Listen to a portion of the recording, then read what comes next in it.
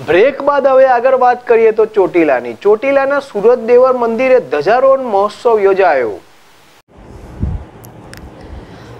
પારિયાત જગ્યાના મહંત નિર્મરાબા તેમજ દાદા બાપુ આપા રતાની જગ્યા મોલડી અને કિશોર બાપુ સોનગઢ તેમજ પારિયાત જગ્યાના પ્રેરક અને સંચાલક ભૈલુભાઈની વિશેષ ઉપસ્થિત રહી હતી.